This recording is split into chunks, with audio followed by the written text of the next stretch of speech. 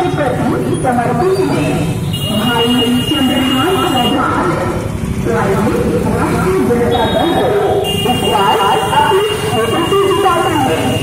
और मुख्यमंत्री तेजस्वी यादव को बना